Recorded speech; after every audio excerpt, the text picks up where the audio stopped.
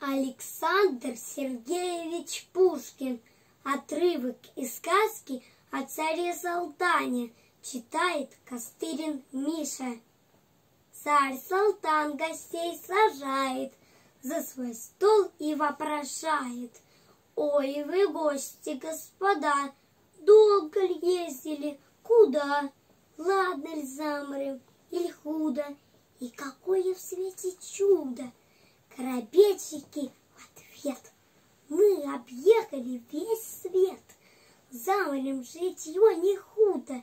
Светишь, вот какое чудо. Море остров был крутой, не привальный, не жилой. Он лежал пустой равниной, рос на нем дубок единый. А теперь стоит на нем новый город со дворцом златоглавыми церквами, с теремами и садами, а сидит в нем князь Гвидон.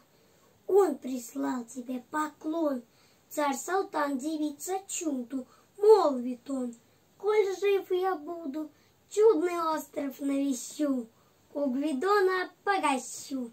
Откатиха с поварихой, с бабой бабарихой не хотят его впустить чудный остров навестить. Уж диковинка, ну право, подмигнув другим лукаво, повариха говорит, город у моря стоит. Знаете, вот что не безделка.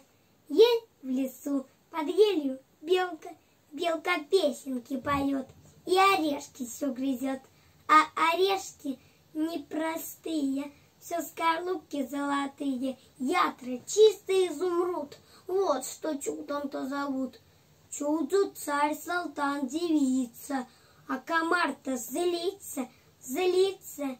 И впился комар как раз тетке прямо в правый глаз. Повариха побледнела, обмерла и окривела.